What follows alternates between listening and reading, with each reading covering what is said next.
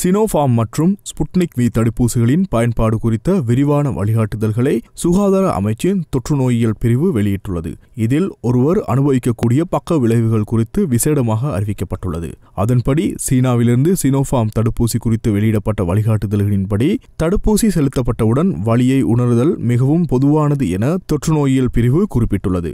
சிவத்தல் வீக்கம் போன்றவை அவ்வப்போது ஏற்படும் எதிர்வினைகள் எனவும் கூறப்பட்டுள்ளது. தலைவலி காய்ச்சல் சோர்வு இருமல் குமற்றல் வயிற்றுப்போக்கு தலை சுற்றல் பசியற்ற தன்மை வாந்தி மலச்சிக்கல் ஆகியவை சினோஃபார்ம் பெற்ற பிறகு எதிர்பார்க்கப்படும் பொதுவான மற்றும் அரிதான எதிர்விளைவுகள் ஆகும் என்று தொற்றுநோயியல் பிரிவு குறிப்பிட்டுள்ளது. சுவை இழப்பு நடுக்கம் கவன கோளாறு ஆஸ்துமா உடல் அசௌகரியம் கழுத்து வலி தாடை வலி கழுத்து கட்டி வாய்ப்புண்கள் பல்வலி உணவு குழாய் கோளாறுகள் இறைப்பை அலர்ஜி மங்கலான பார்வை கண் எரிச்சல் பதற்றம் உயர் இரத்த அழுத்தம் மற்றும் தாமதமான மாதவிடாய் ஆகியவை மிகவும் அரிதானவை எனவும் எதிர்பார்க்கப்படுகின்றது. அதேபோல் ஸ்புட்னிக் வி தடுப்பூசி பெற்ற பிறகு பட்டியலிடப்பட்ட குறுகிய கால எதிர்விளைவுகளில் சளி காய்ச்சல் பொது அசௌகரியம் மற்றும் தலைவலி ஆகியவை அடங்கும் எனவும் தொற்றுநோயியல் பிரிவு குறிப்பிட்டுள்ளது. இந்தியாவிலிருந்து கோவிஷீல்டு தடுப்பூசி இலங்கையில் வழங்கப்படும் போதும் இதுபோன்ற வழிகாட்டுதல்கள் வெளியிடப்பட்டமை குறிப்பிடத்தக்கது.